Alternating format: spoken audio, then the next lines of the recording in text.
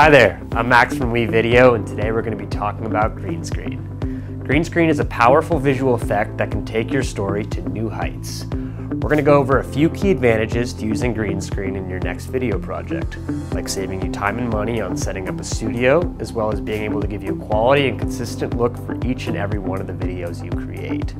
Green screens are fun because they give you the freedom to replace your background with any digital background of your choosing, like a colorful gradient. Oh, would you look at that? Let's take a look at our 10-day forecast. If you look at the weather map right over here, you'll see- weather map? Or even a dramatic and cinematic explosion! Maybe not that dramatic. By having a consistent location where you film, you're able to control factors like lighting, weather, and sound. Don't have a fancy video studio at your disposal? No problem. They are easy to set up and affordable for any budget.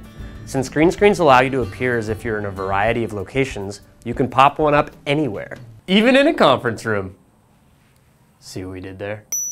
For more tips and tricks on how to use green screen in WeVideo, check out our Academy videos and get started creating today.